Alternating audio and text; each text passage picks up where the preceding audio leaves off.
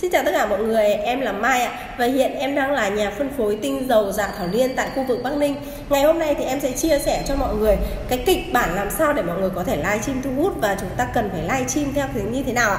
Tại vì là rất nhiều bạn hỏi em là không biết là mọi người phải livestream như thế nào. Thì đầu tiên chúng ta khi mà chúng ta muốn livestream thu hút Và chúng ta muốn thu hút được khách hàng đến cái trang cá nhân của chúng ta Vậy thì chúng ta hãy livestream tặng quà cho em.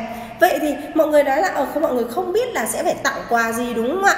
Đó, thì mọi người hãy để ý cho em ạ. Nếu như mọi người có nhiều tiền, mọi người hãy để để cho em cái tập tiền ở trên này. Đó, nhiều nhiều một chút nhé có thể chơi game chơi game thứ nhất là chơi game đoán số đồng tiền này, đúng không ạ? Cũng có rất nhiều người đã chơi game đoán số đồng tiền. Hoặc là mọi người có thể chơi một cái game khác, đó là game làm sao? Là mọi người có thể chơi game đó là tặng quà cho tất cả những ai để lại cái số điện thoại ở dưới đây và đến cuối thì chúng ta sẽ bốc thăm trúng thưởng. Đó, đúng không ạ? Đấy là những cái kịch bản để chúng ta livestream. Và trong cái quá trình mà chúng ta livestream thì hãy luôn luôn nói ra cho họ thấy rằng là sao ạ?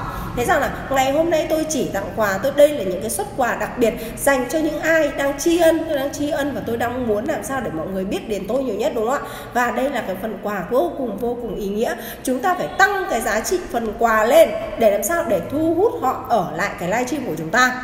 Và liên tục liên tục nhắc đến, nhắc họ và kêu gọi họ hành động để nhiều người biết tới cái livestream của chúng ta hơn.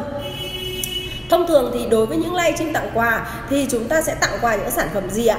À, có thể là các bạn sẽ có thể là tặng quà bởi cái sản phẩm của chúng ta. Đó tặng quà bởi cái sản phẩm của chúng ta này. Hoặc là mọi người có thể tặng cho em những cái lọ chiết để cho khách hàng họ biết tới và họ dùng tới. Và trên cái phần tiêu đề thì mọi người hãy để cho em là tặng bao nhiêu xuất quà đó với trị giá bao nhiêu tiền và nó có tác dụng gì? Mọi người ghi luôn như thế thì để khách hàng để mình sẽ đánh được cái tệp khách hàng ấy ạ cái tệp khách hàng mà họ đã quan tâm tới cái sản phẩm của mình hoặc là mình đánh trúng được cái tệp khách hàng tương lai mà họ sẽ mua cái sản phẩm của mình.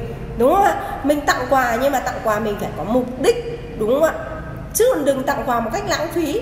Đó trong cái quá trình mà mọi người livestream là mọi người hãy để cho em bản thân mình năng lượng hãy tươi cười lên đấy này ờ, ví dụ như là mình thấy mình thấy ai đó comment trên bài thì em chào chị mình tương tác với họ mình tương tác với họ nhé đó mình tương tác với họ và mình kêu gọi họ để lại những cái thông tin để mình có thể là tư vấn cho họ hoặc là mình để lại thông tin là ờ chị ơi ví dụ như là gặp chị Lan trên livestream chẳng hạn ờ chị Lan à, lâu lắm thế này như thế kia hay là à, ngày hôm nay thì em có những cái xuất quà như thế này để em chia sẻ cho mọi người. Đó thì mọi người hãy luôn liên tục liên tục kêu gọi họ để làm sao để họ ở lại cái livestream của mình và nhiều bạn thì hay bị cái tình trạng đó là um, nhiều bạn hay bị tình trạng là bị ngắt ngắt mất ấy ngắt mất là chúng ta không biết là chúng ta sẽ phải làm gì trong cái quá trình mà chúng ta livestream tặng quà đúng không ạ?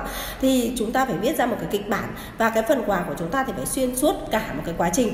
Chúng ta liên tục liên tục tặng cứ liên tục liên tục tặng. Và những người đó khi mà chúng ta gọi ấy, gọi tới tên ai đó thì người đó cái người đó phải là người mà đang ở lại trên livestream của chúng ta thì mới được nhận quà. Đó ví dụ em lấy ví dụ như là cái phần à, cái livestream để à, à, đọc đọc số này thì sẽ là hai số hoặc ba số trên đồng tiền tùy theo giá trị của phần quả đúng không ạ?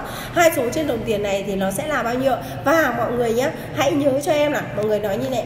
À, xin chào tất cả mọi người và ngày hôm nay em sẽ cho mọi người chơi game đoán số trên đồng tiền một game vô cùng dễ. Chúng ta có từ 0 cho tới 99 đúng không ạ? Đó từ 00 cho tới 99 là 100 số. Và việc của chúng ta đó là chỉ cần đếm cho em thôi đoán cho em thôi. Mọi người thích con số nào cứ ghi ra ghi hết mình ra thì biết đâu đấy là con số may mắn của mọi người. Thì khi mọi người nói như thế thì khách hàng họ sẽ cảm thấy thích thú hơn và mọi người hãy kéo cái phần bán hàng ở dưới hoặc là trong quá trình mà chúng ta chơi game thì chúng ta có thể giới thiệu luôn cái sản phẩm của chúng ta được chưa ạ? Đó để làm sao để nhiều người người ta biết tới cái sản phẩm của bạn nhất.